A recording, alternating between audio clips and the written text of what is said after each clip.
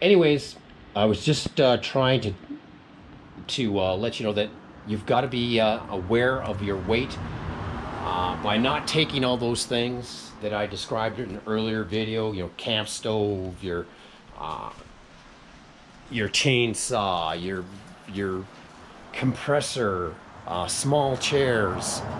Um, you know, I can't take a big chair like this. You know what I'm saying? I, I can only take a chair that you can just put your butt on and that's it. You have to be aware of how much everything weighs.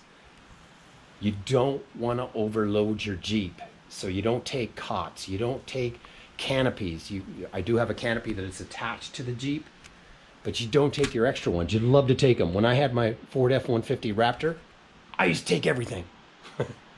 Tables, you know, two burner camp chef, stove. But you can't do that. You have to be aware of the weight, and um, which is not a problem. It's actually minimalist camping, is what it is. What it boils down to. You only take what you need.